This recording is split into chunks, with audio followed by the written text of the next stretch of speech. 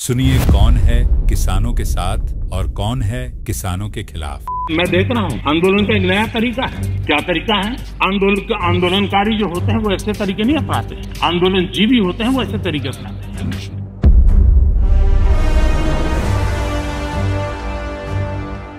यहाँ पे जो फार्मर्स प्रोटेस्ट हुए वहाँ पे लाशें लटकी थी वहाँ पे रेप हो रहे थे वहाँ पे रेप हो रहे थे। इस इस तरह की जो विदेशी जो शक्तियाँ हैं वो यहाँ काम कर रही हैं।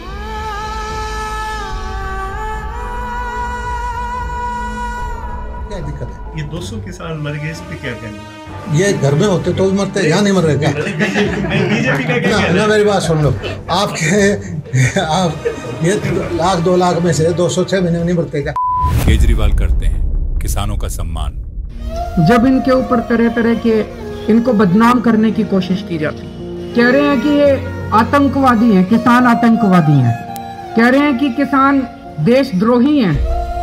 कह रहे हैं कि किसान चीन और पाकिस्तान के एजेंट हैं। ये जो किसान बैठे हैं ना, इन्हीं लोगों के भाई, इन्हीं लोगों के बेटे चीन और पाकिस्तान के बॉर्डर के ऊपर देश की सुरक्षा कर रहे हैं।